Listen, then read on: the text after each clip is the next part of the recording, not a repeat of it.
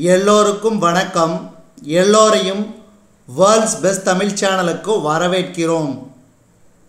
இந்த காணொளியில் நாம் பார்க்கவிருப்பது தினசரி நடப்பு நிகழ்வுகள் இருபத்தி மூன்று இருபத்தி நான்கு இருபத்தைந்து ஜூலை இரண்டாயிரத்தி இருபத்தி நான்கு ஆகிய மூன்று தினங்களுக்குரிய தினசரி நடப்பு நிகழ்வுகள்.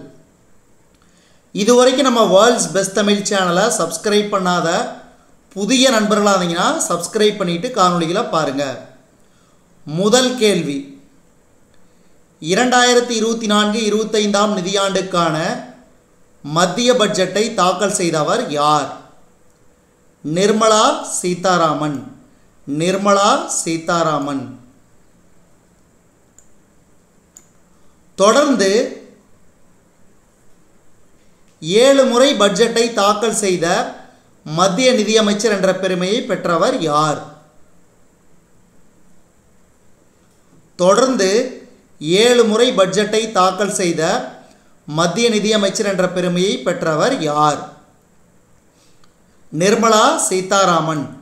நிர்மலா சீதாராமன். அடுத்து. இரண்டாயிரத்தி இருபத்தி நான்கு இருபத்தைந்தாம் நிதியாண்டுக்கான மத்திய பட்ஜெட்டில் கிராமப்புற மேம்பாட்டிற்கு எவ்வளவு தொகை ஒதுக்கீடு செய்யப்பட்டது? ஆப்ஷன் ஏ ரூபாய் இரண்டு புள்ளி ஆறு ஆறு லட்சம் கோடி. ரூபாய் இரண்டு புள்ளி ஆறு ஆறு லட்சம் கோடி. அடுத்து நான்காவது கேள்வி. இரண்டாயிரத்தி இருபத்தி நான்கு இருபத்தைந்தாம் நிதியாண்டுக்கான மத்திய பட்ஜெட்டில் மகளிர் சிறுமிகள் நலத்திட்டங்களை எவ்வளவு தொகை ஒதுக்கீடு செய்யப்பட்டது? சிறுமிகள் நலத்திட்டங்களுக்கு ரூபாய் மூன்று லட்சம் கோடி. இரண்டாயிரத்தி இருபத்தி நான்கு இருபத்தைந்தாம் நிதியாண்டுக்கான மத்திய பட்ஜெட்டில் பாதுகாப்புத்துறைக்கு எவ்வளவு தொகை ஒதுக்கீடு செய்யப்பட்டது? ஆப்ஷன் டி ரூபாய் ஆறு புள்ளி இரண்டு இரண்டு லட்சம் கோடி. அடுத்து ஆறாவது கேள்வி இரண்டாயிரத்தி இருபத்தி நான்கு இருபத்தைந்தாம் நிதியாண்டுக்கான மத்திய பட்ஜெட்டில் வேளாண் துறைக்கு எவ்வளவு தொகை ஒதுக்கீடு செய்யப்பட்டது? ஆப்ஷன் ஏ ரூபாய் ஒன்று புள்ளி ஐந்து இரண்டு லட்சம் கோடி. ரூபாய் ஒன்று புள்ளி ஐந்து இரண்டு லட்சம் கோடி. அடுத்து. இரண்டாயிரத்தி இருபத்தி நான்கு இருபத்தைந்தாம் நிதியாண்டுக்கான மத்திய பட்ஜெட்டின் நிகர வரி வருவாய் எவ்வளவு? ரூபாய் இருபத்தைந்து புள்ளி எட்டு மூன்று லட்சம் கோடி. அடுத்து எட்டாவது கேள்வி. இரண்டாயிரத்தி இருபத்தி நான்கு இருபத்தைந்தாம் நிதியாண்டுக்கான மத்திய பட்ஜெட்டின் மொத்த வருவாய் எவ்வளவு? இரண்டாயிரத்தி இருபத்தி நான்கு இருபத்தைந்தாம் நிதியாண்டுக்கான மத்திய பட்ஜெட்டின் மொத்த வருவாய் எவ்வளவு? ரூபாய் முப்பத்தி இரண்டு புள்ளி பூஜ்ஜியம் ஏழு லட்சம் கோடி. அடுத்து இரண்டாயிரத்தி இருபத்தி நான்கு இருபத்தைந்தாம் நிதியாண்டுக்கான மத்திய பட்ஜெட்டின் மொத்த செலவினத் தொகை எவ்வளவு? மொத்த செலவினத் தொகை. ரூபாய் நாற்பத்தெட்டு புள்ளி இரண்டு ஒன்று லட்சம் கோடி. அடுத்து. பத்தாவது கேள்வி. இரண்டாயிரத்தி இருபத்தி நான்கு இருபத்தைந்தாம் நிதியாண்டுக்கான மத்திய பட்ஜெட்டில் ரயில்வே துறைக்கு எவ்வளவு தொகை ஒதுக்கீடு செய்யப்பட்டது? ரூபாய் இரண்டு புள்ளி ஆறு இரண்டு லட்சம் கோடி. அடுத்து. ஷாங்காய் கூட்டமைப்பின் முதல் இராணுவ பயிற்சியான இன்டராக்ஷன் இரண்டாயிரத்தி இருபத்தி நான்கு எங்கு நடைபெற்றது? சீனா சீனா. அதாவது ஷாங்காய் கூட்டமைப்பின் முதல் கூட்டு இராணுவ பயிற்சி. அடுத்து. பன்னிரெண்டாவது கேள்வி.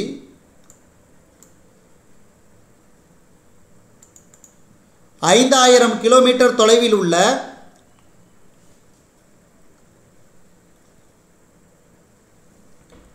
இலக்கை அளிக்கும் திறன் கொண்ட பாலிஸ்டிக் ஏவுகணைகளை தாக்கும் சோதனை எங்கு வெற்றிகரமாக மேற்கொள்ளப்பட்டது? ஒடிசா ஒடிசா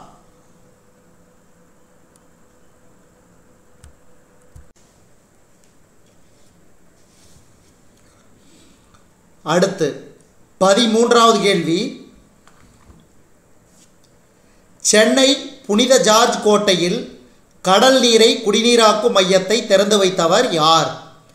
சென்னை புனித ஜார்ஜ் கோட்டையில் கடல் நீரை குடிநீராக்கும் மையத்தை திறந்து வைத்தவர். Option B Karanbir Singh Brar. கரண்பீர் Singh Brar. அடுத்து. தமிழக காவல்துறையின் வடக்கு மண்டலத்தில் சிறந்த காவல் நிலையங்கள் பட்டியலில் எந்த காவல் நிலையம் முதலிடம் பிடித்தது?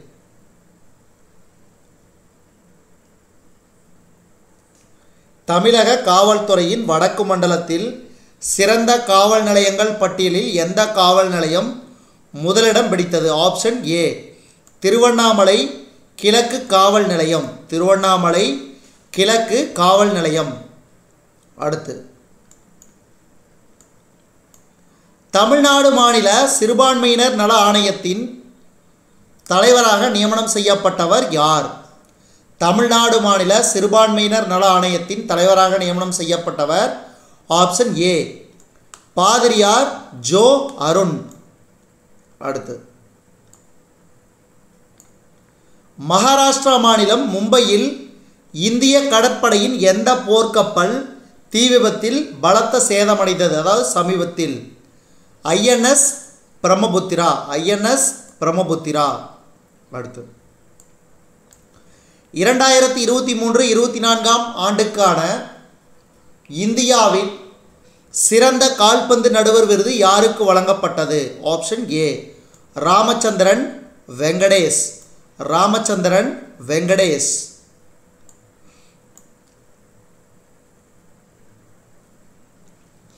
இரண்டாயிரத்தி முப்பதாம் ஆண்டுக்கான குளிர்கால ஒலிம்பிக் பாராலிம்பிக் போட்டிகளை எந்த நாடு நடத்துகிறது?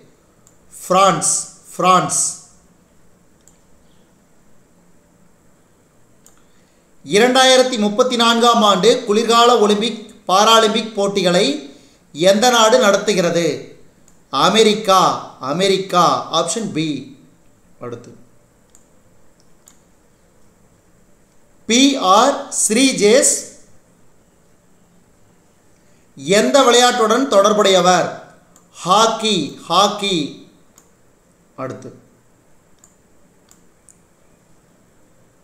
திரிபுவன் சர்வதேச விமான நிலையம் எந்த நாட்டில் அமைந்துள்ளது? திரிபுவன் சர்வதேச விமான நிலையம் எந்த நாட்டில் அமைந்துள்ளது? நேபாளம். ஒவ்வொரு ஆண்டும் வருமான வரி தினம் எப்போது கடைபிடிக்கப்படுகிறது? ஒவ்வொரு ஆண்டும் வருமான வரி தினம் எப்போது கடைபிடிக்கப்படுகிறது? ஜூலை இருபத்தி நான்கு ஜூலை இருபத்தி நான்கு. நன்றி.